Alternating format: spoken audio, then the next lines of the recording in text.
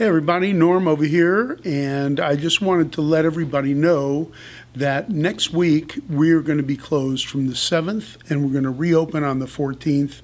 I'm going on the Joe Bonamassa Blues Cruise, so I'm giving everybody a week off. Um, if there is um, anything that you guys are interested in, you can email Mark.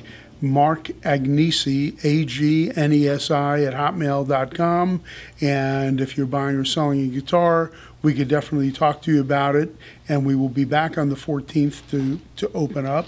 Um, so just wanted to let everybody know. Thanks to everybody for buying the book, which has been doing fantastic. And thank you all for watching our videos. We really appreciate your views. And uh, we will be coming at you with a lot more stuff. So please keep watching Norm's Rare Guitars. Thank you very much.